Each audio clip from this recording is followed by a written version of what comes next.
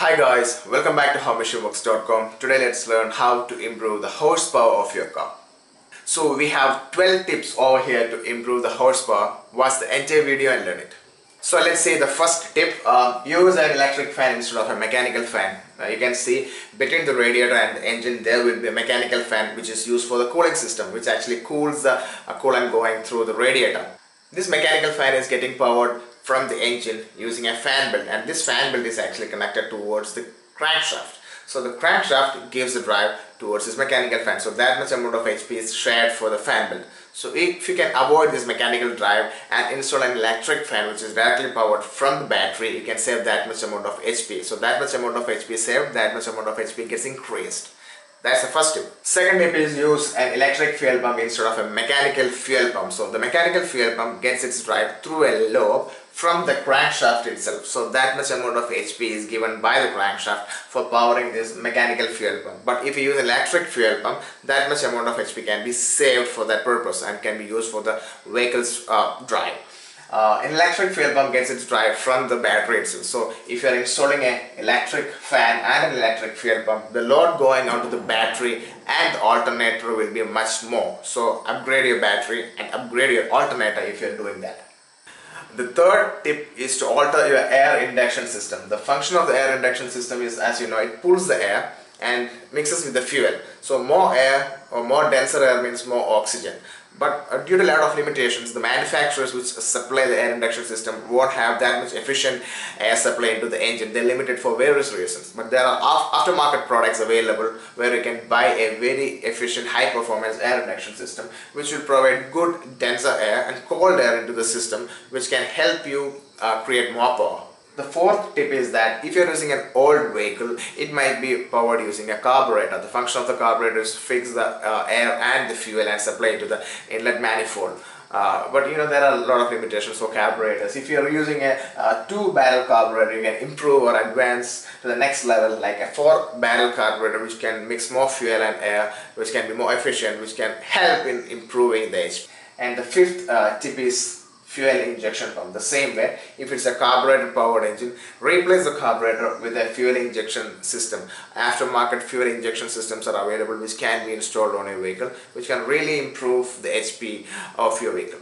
Uh, the sixth tip is the performance chip. So if your vehicle is a new one, uh, if you are using ECUs on the vehicle electric fuel injection system, it will be powered with a performance chip which is coming with standard by the manufacturer. So this is a computer or a uh, smart device which gives the programming towards uh, the fuel injection system to say when to fuel inject, how much amount to be injected. So this can be advanced by uh, buying aftermarket products like super chips from the uh, market which are already been tuned and programmed for high performance or you can buy a chip with the programming system and you can program it by yourself and improve the HP of your vehicle. Seventh one is improving the exhaust system. The exhaust system should be a free flow. If there is a restriction to the exhaust, that can reduce the horsepower of your vehicle. So you can see that if so less restriction, more power. Normally if your vehicle is having uh, two take pipes, if I say two exhaust pipes, and the exhaust is coming from the engine as a single line it gets it gets into the catalytic converter then gets split up into the two pipes. So it chokes inside the catalytic converter. So this has to be reduced. There should be free flow. True dual exhaust system has to be made. That means two exhaust is coming freely and it can flow outside without restriction so you can remove the catalytic converter as per the law of your state or the country you have to follow that or you can put two catalytic converter in both the two tailpipes so that it won't choke inside a set out single one. Uh, but the catalytic converters are expensive so it depends on how much money you have. The eighth one is the turbocharger. So there are aftermarket turbochargers available. Uh, you might be knowing if your engine is not a turbocharged one, you can install a turbocharger to a vehicle and improve the horsepower. So aftermarket turbochargers can be used for that. The function of the turbocharger is to take the exhaust stream from the engine, power a turbine, and it will take the air from the atmosphere and gives it to the inlet manifold by compressing it. Uh, so it is more dense more amount of air, the volumetric efficiency increases and more oxygen is there so as a result more fuel can be burned and more power and more HP can be created. So uh, you can opt a good turbocharger, an aftermarket turbocharger for improving the HP of your vehicle.